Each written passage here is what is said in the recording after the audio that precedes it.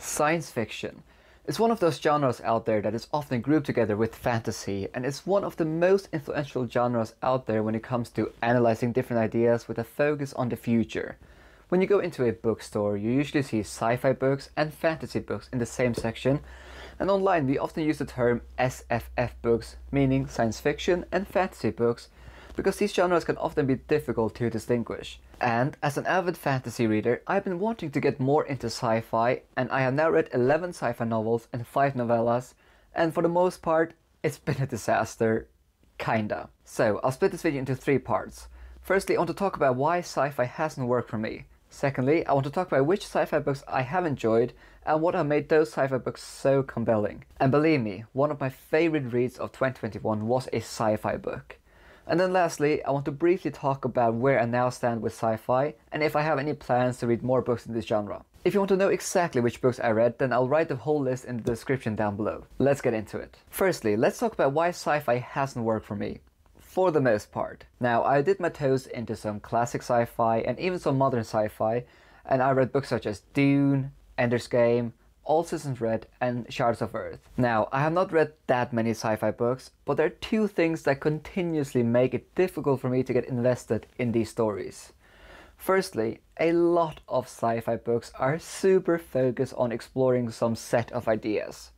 For example, it will be exploring maybe how humans will interact with aliens or how technology will impact our lives in the future. But I often experience that these exploration of these ideas becomes the most important part of these stories. Now, I love when a fiction book is able to explore different ideas in a fictional setting, but I am a very character driven reader, and I often found that sci fi authors do not take as much care in crafting these characters in the stories. Yes, you have some characters that are important for the story, but the main thing is often not the characters, and sometimes not even the story, but these ideas that these authors want to explore. And that is why I often do feel intrigued in the first 100 pages when picking up a sci fi book, because you're introduced to a world that maybe is struggling with climate change or AI and so on. But analyzing some specific ideas for 300, 400, or 500 pages is just not enough to get me invested in the story. An author needs to get me invested in the characters first to keep me engaged throughout the whole story. Now, I know I am generalizing and not all sci fi books are like this, but I often experience that the story or the ideas take priority over the characters. I have especially experienced this with classic sci fi where the characters often have no depth, and I know modern sci fi books generally tend to focus more on the characters than classic sci fi do. But, for example, I recently tried reading Under Fortunate Stars, which is an arc I received. So this is a modern sci-fi book, and while the concept is absolutely fascinating, I didn't find the characters compelling, which has led me to DNF it at a halfway mark.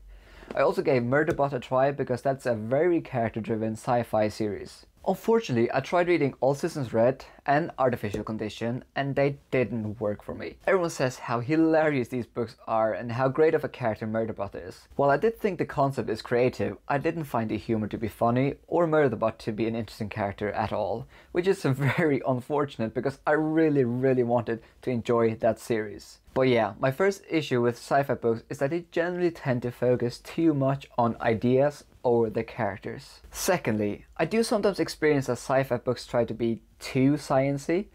Now, I know the genre is literally called science fiction, so I'm not saying it's a bad thing. But sometimes some authors will write these long paragraphs on how this technology works or how this rocket is powered, and you're reading some made up science which almost feels like reading straight up jargon. Just don't get it because you're not smart enough. I know some readers really appreciate the author making an effort in trying to explain how everything works because that definitely adds another layer of that sense of realism. But for me, I don't really want to know in detail how a laser gun works or how a spaceship is powered. For example, I read Shards of Earth last year, and that book was so dense, especially in the first 20% of the book. I felt like I barely understood what was going on. There were so many scientific terms and explanations about the science and the world, and it just didn't really feel like a fictional book to me in some sense. Now, that book has received so much praise, so it's definitely a me thing. I know Tchaikovsky is one of the best sci fi authors out there, but for me, it just sometimes gets a bit too much with the science. So those are the two main reasons why I've struggled a lot with sci-fi. Firstly, sci fi books tend to focus too much on ideas and lack compelling characters. And secondly, I don't find the detailed explanations about how everything works that interesting. But that leads me to the next section of this video. Even though sci-fi rarely works for me, there have been some couple of exceptions. Firstly, one of my favorite reads of 2021 was a sci-fi book, and that was Project Hail Mary by Andy Weir. This book definitely deserves all the praise and hype because this was so freaking good.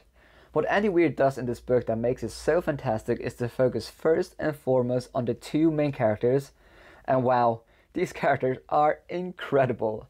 I felt so invested in Ryland Grace and Rocky and their journey, so it almost feels like Weir focused first and foremost on creating good characters, and then secondly on creating a good plot, and then thirdly the ideas. And that was what made this book so fantastic. The characters are incredible. Secondly, there is actually a lot of science jargon in this book, but for some reason I never felt stupid while reading it.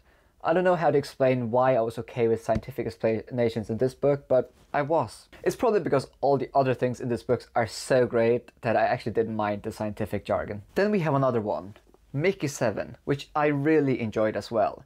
Now, this one wasn't as good as Project Hail Mary, but it was good for similar reasons as Project Hail Mary. This book is told through a single first person point of view, so we get to experience the protagonist's feelings, thoughts, and struggles, which worked really well for me.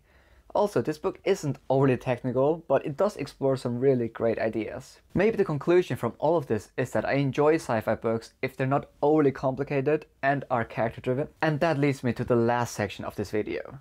Where do I stand with sci-fi now? Well, I haven't given up on sci-fi just yet. I think I just need to discover some authors that write sci-fi books in ways that I appreciate because I really enjoyed my time with Project Hail Mary and Mickey 7. Moreover, I also generally tend to enjoy books that are a blend of sci-fi and fantasy. I think I usually start to struggle when a book is only sci-fi. So, this is my plan. I'm planning on reading Red Rising because I have heard from a lot of people that that series is much more character driven and I know it's loved by a lot of fantasy readers. I also want to give Becky Chambers a try since so many people have recommended her books to me. Thirdly, I want to give Christopher Ruocchio's Sun Eater series a try.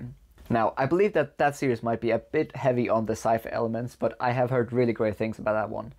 And then lastly, I'm also interested in reading some of Blake Crouch's books. But if you guys have any sci-fi recommendations for books that are similar to Project Hail Mary or Mickey 7, then please let me know. I do want to get into sci-fi a bit more, but I just haven't really found books that work well for me. So that is it. Do you enjoy reading sci-fi or do you also struggle with the genre? And as always, thank you so much for watching and a special thanks to my Patreons. I really appreciate it.